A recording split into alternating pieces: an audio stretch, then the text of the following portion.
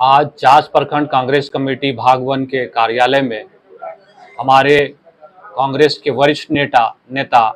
श्री अशोक मिश्रा जी हमारे जो प्रभारी हैं, उनके उपस्थिति में और तमाम कांग्रेस के वरिष्ठ नेताओं की उपस्थिति में आज बोकारो जिला कांग्रेस कमेटी के निर्देशानुसार सभी प्रखंडों में ये कार्यक्रम प्रेस वार्ता आहूत की गई है और उसी परिप्रेक्ष्य में आज हमारे चास प्रखंड भागवन में ये प्रेस वार्ता हो रही है। मुख्य उद्देश्य यही है कि हमारे पूर्व राष्ट्रीय अध्यक्ष आदरणीय श्री राहुल गांधी जी को आनंद फानन में, एक छोटे से मामले में, गुजरात के एक छोटे से न्यायालय में, मजिस्ट्रेट के द्वारा एक निर्णय सुनाया गया, जो मानहानि का, भारत के इतिहास में पहली बार मानहानि के मुद्दे पर किसी राष्ट्रीय स्तर के नेता को आनंद फानन में सजा देकर और उसको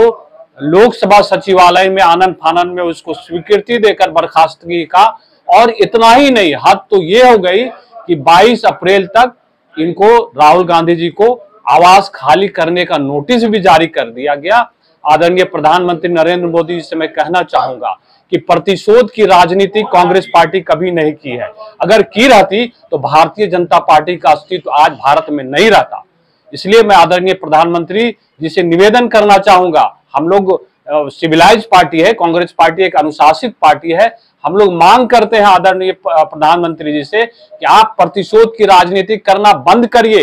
राहुल गांधी ने यही गलती किया था ना यही सवाल पार्लियामेंट में पूछा कि आपका रिश्ता अडानी से क्या है? जेपीसी का गठन क्यों नहीं किया जा रहा है? इन सारे मुद्दों को भटकाने के लिए 2019 का एक छोटा सा मुद्दा जो कर्नाटक में उन्होंने एक भाषण दिया था उस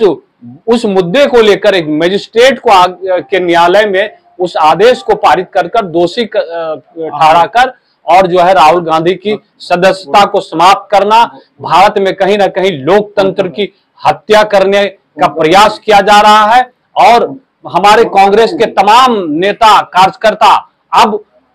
हम लोग सड़क से सदन तक इस आवाज़ को इस रूप में उठाएँगे कि 2024 कांग्रेस पार्टी इस तानाशाह सरकार, ये समझिए कि सबके साथ पक्षपात करने वाली सरकार, इसको उखाड़ फेंक कर ही हम लोग दम लेंगे।